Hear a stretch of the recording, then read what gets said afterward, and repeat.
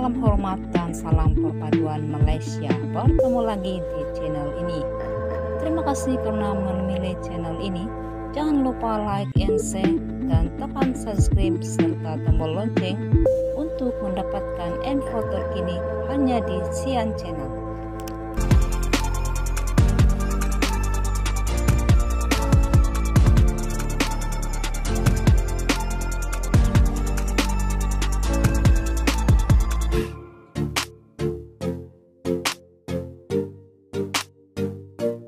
Salam sejahtera rakyat Malaysia. Info hari ini dipetik dalam Kosmo.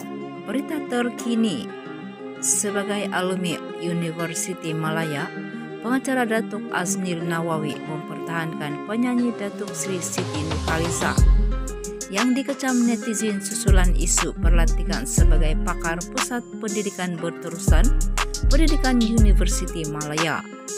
Aznir 61 tahun yang tampil dalam siaran sebuah radio mengatakan perlantikan Siti bukan sebagai profesor, ahli akademik maupun tenaga pengajar di industri berkenaan sebaliknya sebagai ikon dengan tujuan mempromosikan tentang pembelajaran berterusan.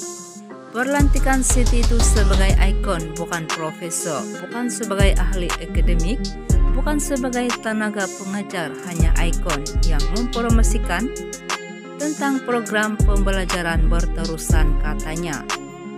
Aznil berkata Siti merupakan insan seni yang layak menerima perlantikan terbabit berdasarkan sumbangan dan pengalamannya hampir tiga tahun berkecimpung dalam dunia seni.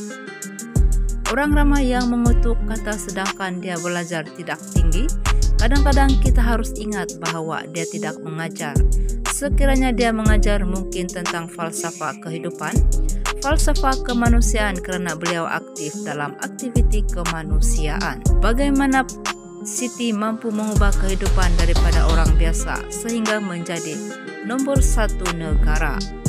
Dalam industri setelah lebih 10 atau 15 tahun bekerja, boleh dikira pakar karena dia tidak membuat kerja lain selain kerja itu sahaja tambahnya. Dalam pada itu Aznil turut menjelaskan mengenai perbezaan perlantikan dirinya sebagai profesor Fakulti Perniagaan dan Ekonomi University Malaya tahun lalu.